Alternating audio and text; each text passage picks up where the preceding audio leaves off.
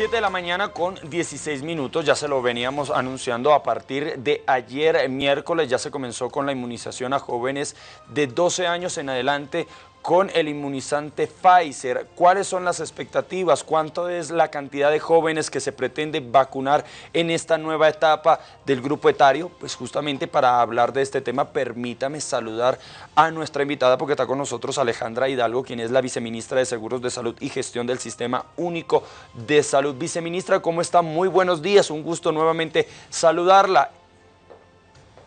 ¿Cómo está Edison? El placer es mío, buen día.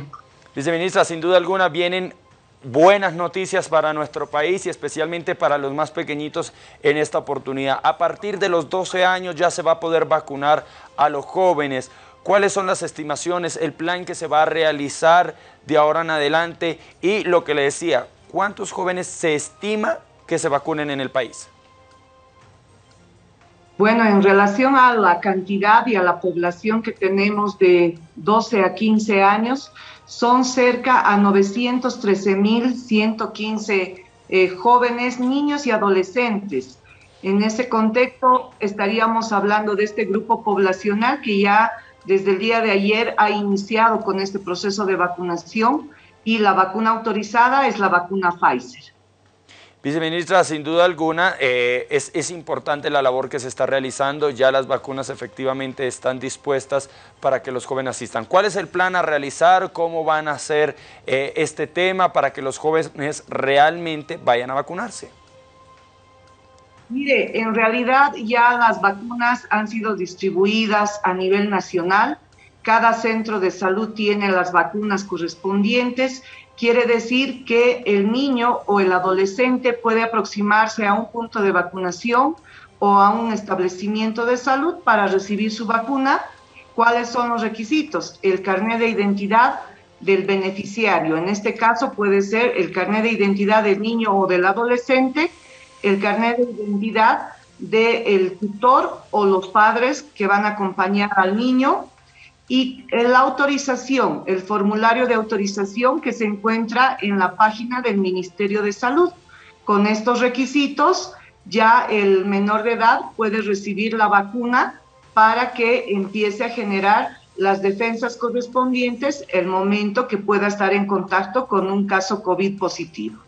Viceministra, pero ¿cómo se va a hacer de pronto la sociabilización de este tema? Porque recordemos que todavía hay muchos padres rezagados que todavía no creen en la vacuna y se puede topar con este panorama de que hay jóvenes que sí quieren vacunarse porque sí han escuchado de pronto la información verídica y dicen, yo sí quiero vacunar mi papá, pero sin la autorización no lo va a poder hacer. Bueno, cada establecimiento de salud tiene un área asignada. En relación al área asignada, lo que sí se podría hacer es que cada director de un centro de salud pueda hacer la coordinación correspondiente con una unidad educativa, que es el lugar en el cual están aglutinados los niños y los adolescentes de estos grupos etarios, y a través del director hacer la coordinación con las juntas escolares, por ejemplo, para que se pueda proceder a la vacunación previa autorización de los padres de familia. Esto es necesario sí, porque la vacuna es un medicamento y al niño o al adolescente, al ser menor de edad, es necesario que pueda presentar el formulario que autorice eh, proceder con la vacuna correspondiente al niño o al adolescente. Esto específicamente se tiene que ir socializando a través de cada centro de salud, a través de cada coordinación. Están los PAIs departamentales quienes deberán realizar este tipo de información a través de las direcciones distritales de educación y de esa forma poder llegar con la información a los padres de familia, pero además poder realizar este tipo de estrategia en unidades educativas para poder contar con una cobertura importante en relación a este grupo poblacional.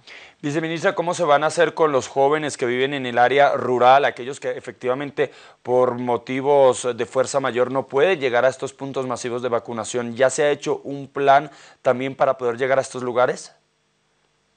Todos los centros de salud que existen también en el área rural cuentan con la vacuna correspondiente. quiere decir que los jóvenes y los niños que están en algunas provincias pueden acceder a la vacuna que está en el puesto de salud o centro de salud que existen ya a nivel nacional. Entonces, estas vacunas también se han distribuido específicamente para estos centros de salud porque la cadena de frío, el momento que se descongela la vacuna, se la puede mantener de 2 a 8 grados centígrados.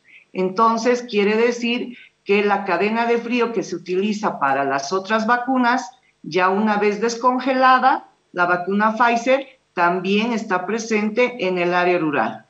Ahora, viceministra, hay otra de las situaciones por las que está pasando eh, la población y se pregunta, no hace mucho estábamos eh, impulsando para que la gente asistiera a inmunizarse con la tercera dosis, la dosis de refuerzo justamente para no desechar estas vacunas. ¿Cómo estamos en este momento? ¿Podemos correr el riesgo nuevamente de desechar vacunas si es que la gente no asiste? Bueno, en relación a este dato, se había habilitado ya anteriormente la vacunación para la edad de 15, eh, perdón, de 16 a 17 años. Sí, hasta el día de ayer se ha logrado llegar a una cobertura de 71.004 personas entre esas edades. Se ha distribuido la vacuna igual a nivel nacional y es necesario que cada departamento pueda utilizar las vacunas que ya se han entregado y que están almacenadas en los departamentos.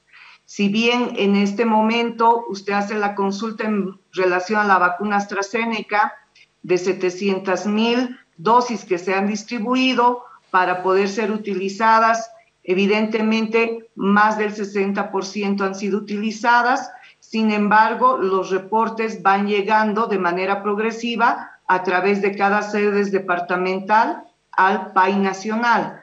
En este momento la vacuna Pfizer debe ser utilizada con estrategias de poder llegar a lugares en los cuales están concentrados los grupos poblacionales y en este caso son las unidades educativas con quienes cada centro de salud debe hacer la coordinación.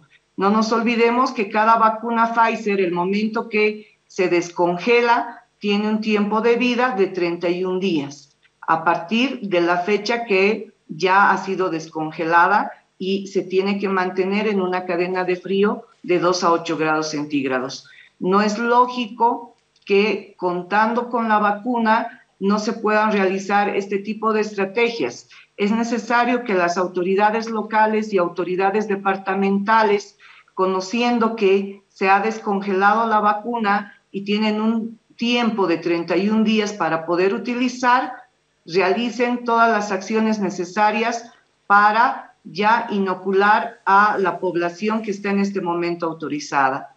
Entonces, deberán realizar diferentes estrategias para poder proceder con la inmunización, empezando por la información que se va brindando y actualización en la información, ya que la vacuna Pfizer es altamente efectiva en estos grupos poblacionales. Viceministra, ya para ir finalizando, eh, ¿Cómo están haciendo los controles en los diferentes puntos masivos de vacunación con respecto al suministro de la vacuna? ¿Por qué le digo esto? Eh, eh, en un grupo de WhatsApp que yo estoy, le voy a decir con, información exacta, uno de mis compañeros ha publicado diciendo, necesito a alguien que se quiera aplicar la vacuna porque no pueden abrir el frasco solo para mí. Él decía, necesito alguien más que se vacune porque en el punto de vacunación le decían, no podemos abrirlo solo para una persona. Y esto también es un poco molestoso porque no puedes estar yendo en grupo a vacunarte. Se supone que te está sacando el tiempo para suministrarte la dosis por tu seguridad y no puedes obligar a otra persona a decir, acompáñame porque es que a mí solo no me van a vacunar. A ver, le, explico un poco. Cada frasco tiene eh, varias dosis, en este caso son seis dosis que tiene un frasco si ya aperturamos para que se pueda vacunar una persona y son cinco dosis que quedarían pendientes de utilizar, si no tenemos estas cinco personas, se estaría hablando del factor pérdida. Entonces, ahí también es que el personal de salud y con la población se va conversando porque este factor pérdida por una persona y tenemos que hacer los esfuerzos. Evidentemente, en varios puntos de vacunación van haciendo esa, esa socialización para poder vacunar a seis personas, ya que cada frasco tiene seis dosis. De lo contrario, estaríamos hablando que este factor pérdida podría incrementar.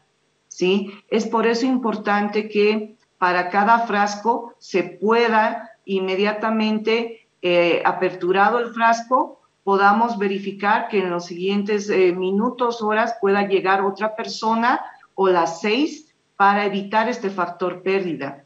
Y esto no es solamente en esta vacuna, sino también en todas las vacunas regulares, ya que en este momento, como ustedes conocen, en otros países están a la espera de que puedan llegar las vacunas.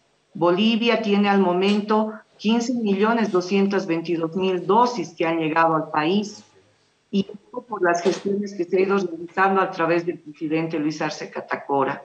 Entonces, es necesario poder realizar la aplicación de estas seis dosis que tiene cada frasco. Y es así que podríamos eh, verificar que pueda evitarse tener este factor pérdida en relación a cada frasco y cada vacuna. Viceministra, y qué importante ha sido esta aclaración para muchas personas que pensaban de que no era que no nos querían vacunar, sino también es importante la sociabilización y es importante también el mensaje que hay que invitar a la población en general a que asistan a los puntos masivos de vacunación. Viceministra, ya para ir finalizando, el mensaje que le quiere dar usted a toda la población. Invitamos a todos los padres de familia a cuidar la salud de los hijos.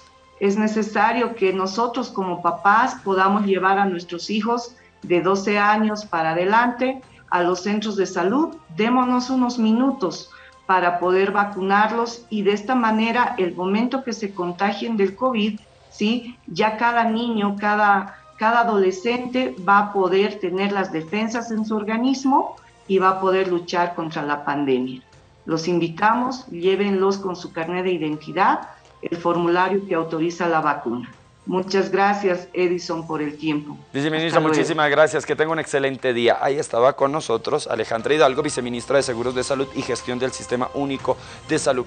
Qué importante es esta aclaración y es que no podemos darnos el lujo de desperdiciar las vacunas. Si nosotros hacemos un análisis en el panorama internacional, hay muchos países que todavía no han podido acceder a la gran cantidad de vacunas. Bolivia lo ha logrado gracias a la gestión del presidente Y es por eso de que si usted va a asistir a un punto de vacuna y se presenta con este panorama donde le dicen, no, mire, no podemos abrir el frasquito solo por usted, necesitamos que dos o tres personas, pues hágalo para aprovechar estas dosis y que no se desperdicien.